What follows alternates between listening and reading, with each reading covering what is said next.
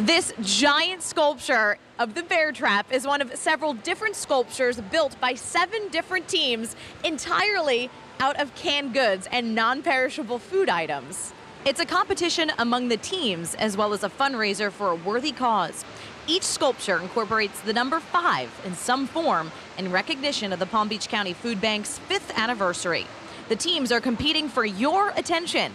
You can vote for your favorite sculpture to determine the winner of the People's Choice Award by taking a photo of your favorite sculpture and posting it to Instagram with the hashtag One Vote, One Meal.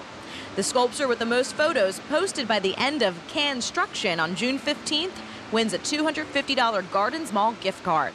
In addition to the competition, all of the canned food used to create the sculptures will be donated to the Palm Beach County Food Bank at the end of the two week exhibit. Last year's Canstruction brought in more than 29,000 pounds of food to feed the hungry in our community. Canstruction is open to the public starting today through June 17th. Reporting from the Gardens Mall, Stephanie Brzezinski, WPBF 25 News.